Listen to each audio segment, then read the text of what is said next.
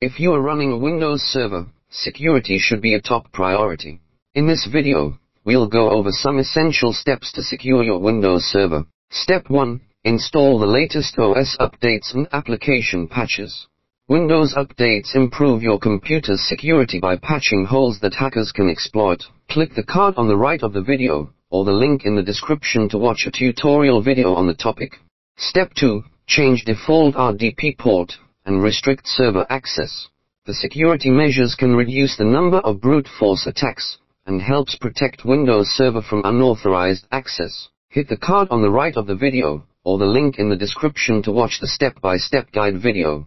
Step 3. Use a complex password and change it periodically. Using a complex password and changing it periodically is an effective way to enhance the security of your Windows Server and protect against unauthorized access. You can click the card on the right of the video, or the link in the description to watch the detailed guide video. Step 4. Enable the system firewall and close unnecessary ports. Enabling the system firewall and closing unnecessary ports on your Windows server helps to reduce the attack surface and protect against potential security breaches. To learn how to implement the practice, you can click the card on the right of the video or the link in the description. Step 5. Install antivirus software. Installing antivirus software on your Windows server provides an essential layer of protection against malware, viruses, and other cyber threats. You can click the card on the right of the video, or the link in the description to watch the detailed operation video. Step 6. Backup data periodically. At Database Mart, we understand the importance of data backup.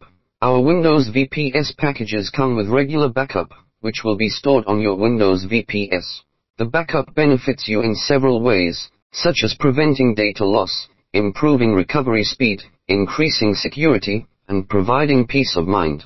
If it is for the most critical data that you cannot risk losing, you can add an extra level of security by purchasing our remote data center backup service.